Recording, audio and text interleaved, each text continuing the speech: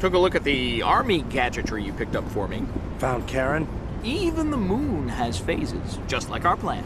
Before we plug in the techno, we gotta bug up on Frank's phone. You mean like tap Frank's phone? No, no, no. It's the digital signal we want. The one that's all around us. Right now. Deep within the clicks and bumps of that signal, there's a GPS trace. So if we can get Karen on Frank's cell... More or less, but the clicks and hums are a language. The military gizmo helps us hear the language, but to know what it's saying, we need a translator. So, take my phone. All the muscle has to do is get to the antenna at the top of an electronics factory.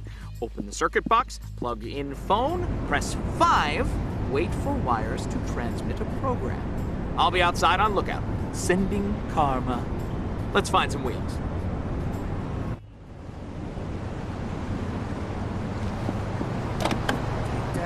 Your neighborhoods and communities need not wallow in the shadows of those casinos.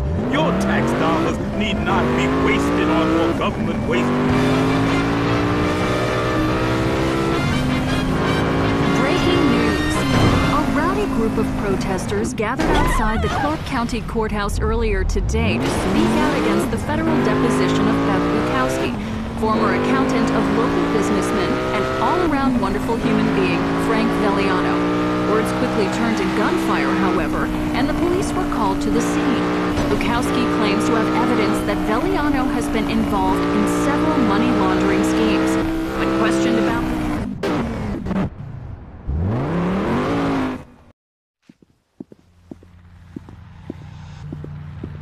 You got an ID, buddy?